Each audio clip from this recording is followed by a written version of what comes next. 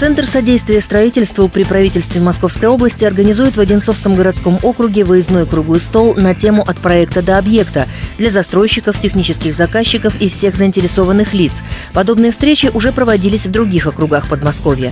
Участники обсудят порядок действий по получению разрешения на строительство, разберут основные недочеты в оформлении исходно-разрешительной документации, рассмотрят ряд других важных тем.